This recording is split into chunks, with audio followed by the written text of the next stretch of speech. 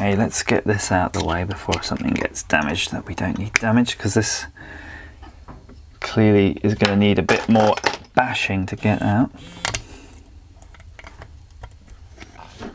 Okay, I'm having difficulty getting this out. So what I'm going to do is I'm going to take this outside and I'm going to put a bar through here and smack it. See if we can smack it out by hitting that impeller. We know that this is all damaged and we're not going to reuse any of that anyway. So time for some brute force.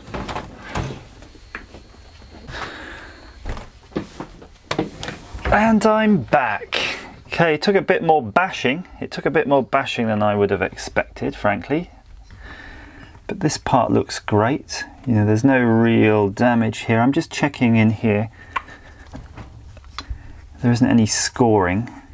That seems okay. If it's scored, you see, we're going to have problems because when we if we fit a new cartridge then it means the performance will be impaired. So this is the exhaust side so it's sort of made of steel or iron or whatever it is something heavy. And the intake side is nice and lightweight and aluminium. And again just checking for scoring I think it's fine. I mean whatever's gone on has been very light because of course they must be making these impellers out of something very soft to ensure that the impeller is kind of the uh, part once it gets sucked into your engine because of damage it's not going to break your engine. So we have a little bit of damage here on the exhaust side and that's because I put in a big chisel and smacked it out via there. So you see these this damage on these these teeth are because of that.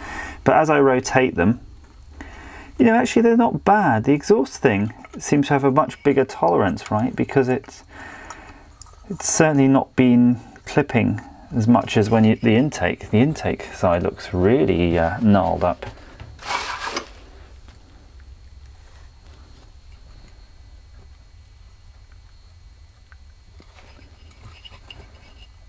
It's certainly uh, succumbed to a fair bit of bashing there.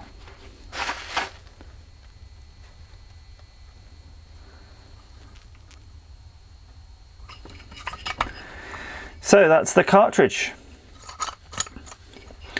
So the exhaust gases are coming out, spinning this round, spinning this round, which is making more suction, more suction, more power, engine goes faster, more torque.